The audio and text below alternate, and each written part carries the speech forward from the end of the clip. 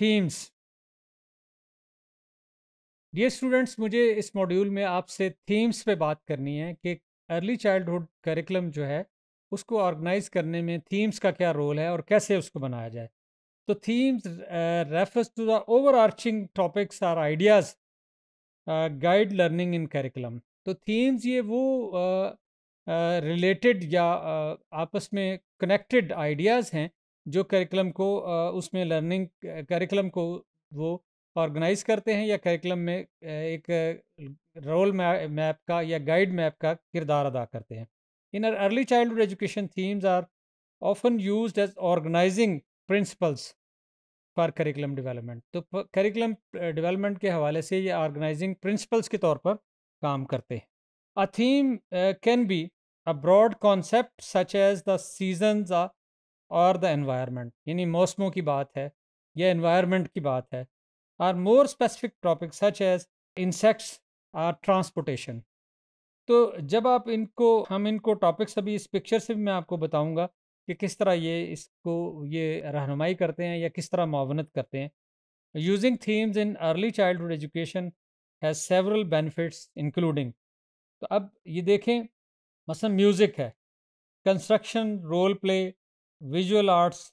Basically आप ये देखें कि ये जो अर्ली चाइल्ड एजुकेशन जो सिचुएशन है, उसमें क्या इंटरनल तस्वीर जो एक आपको नज़र आ रही है ट्री लाइक तो इसमें आप देखें ये बेसिकली ये सारी चीज़ें वो एक ही वक्त में डेवलप कर रही है। मसलन कागनेटिव है, फिर लैंग्वेज है, फिर सेंटिमेंट्स हैं फिर क्रिएटिविटी है, फिर पर्सनैलिटी है।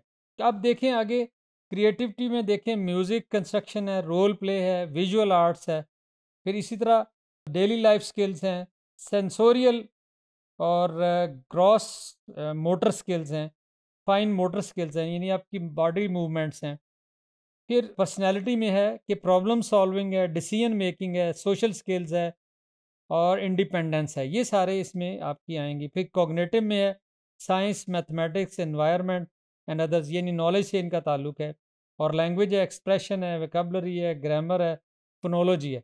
तो ये क्या है थीम्स हैं डिफरेंट आप देखें, और उनके गिर्द ये आपका मटेरियल या आपका करिकुलम बन रहा है, या इकट्ठा हो रहा है ऑर्गेनाइज हो रहा है।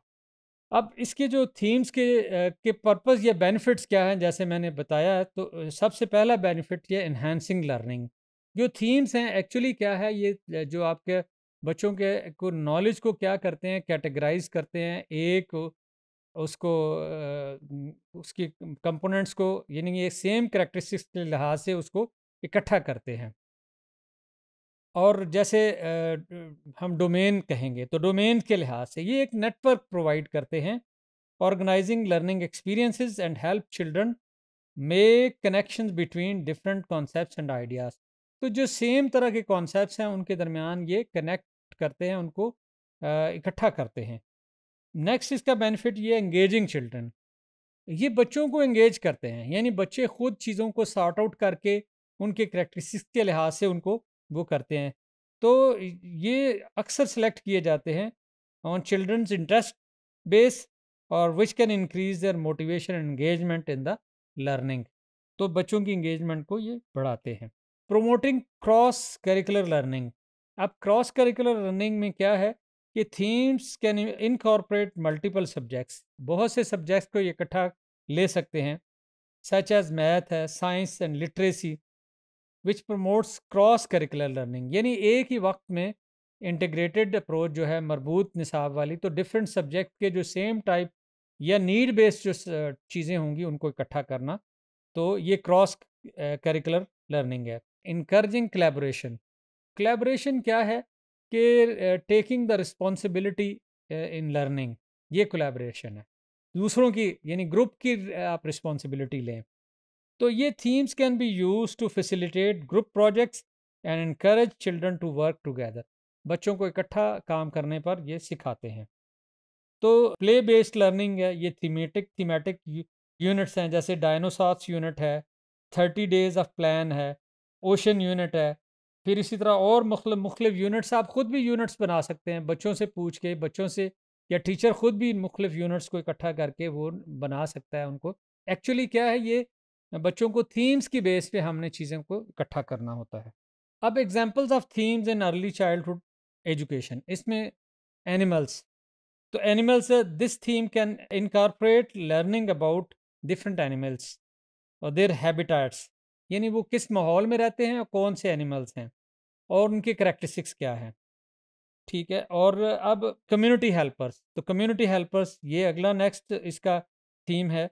This theme can involve learning about different jobs हैं and the people who perform them such as doctors है पुलिस है डॉक्टर्स हैं इंजीनियर्स है फार्मर्स हैं, कोई भी इसको आप ले सकते हैं इसमें।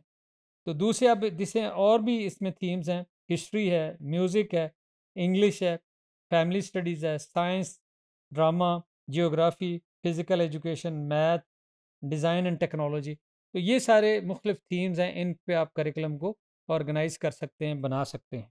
अदर एग्जांपल्स में सीज़न जैसे। This themes can include learning about the weather changes in nature and seasonal activities तो ये बच्चों, यानी मौसमी तब्दीलियों या सीजनल एक्टिविटीज़ अच्छा ये सीज़नों की इम्पोर्टेंस है और जो सीजन्स के हैं, मसलन हवा है, फिर और इस तरह की चीज़ें हैं हीट है, उन सब का मतलब उसमें उनके बारे में हम बात कर सकते हैं। ट्रांसपोर्टेशन है तो ट्रांसपोर्टेशन के वेरियस सोर्सेज हैं, जैसे बहरी जहाज़ों के ज़रिए सफ़र है, रेल का सफ़र है, बस का सफ़र है, या हवाई जहाज़ के ज़रिए ट्रांसपोर्टेशन है, या किस, जिस तरह भी मतलब आपके तो ये बच्चों की learning different types of transportation के बारे में how can they work and their uses तो मतलब किस तरह वो काम करते हैं और क्या उनको uh, हम किस तरह उनको यूज़ कर सकते हैं।